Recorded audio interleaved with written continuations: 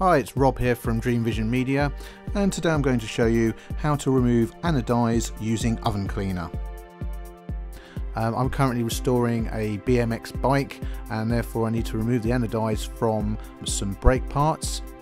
First thing to do is to, to dismantle your bits and pieces, making sure you put all your nuts and bolts and washers in a safe place. Then place your items into a plastic container and uh, liberally cover with oven cleaner. I have used Oven Pride as I found it to be the best. Um, there are obviously others on the market, um, but this stuff works pretty well. Uh, as you can see, the reaction is almost instantaneous. Make sure you wear safety equipment such as goggles and gloves. Uh, this stuff's pretty nasty and will burn if it does get on you.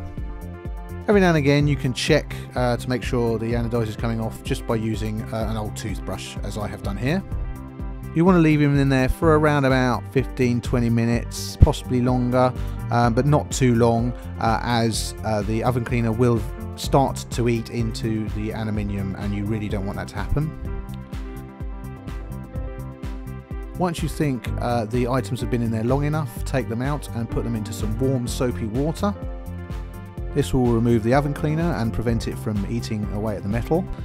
Leave them in there for a few minutes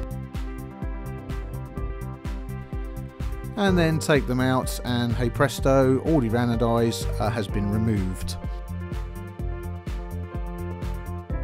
These particular parts I wanted to re-anodize in gold and as you can see they've come out pretty well.